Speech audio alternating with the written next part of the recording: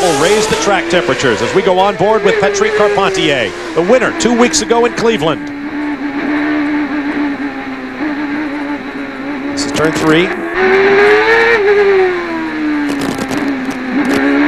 Turn four.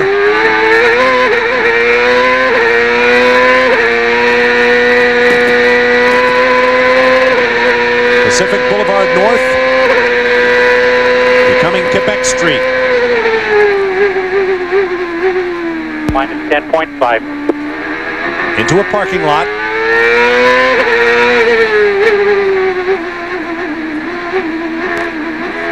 Turn seven and eight.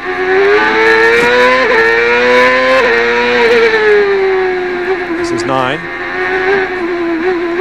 And turn 10 outside the Science World Dome. Big curb on the right. It's big, but it's not real severe, so the guys can get up on there without too big of a penalty. the start-finish straightaway, headed for BC Place. Have a look at the board, Pat.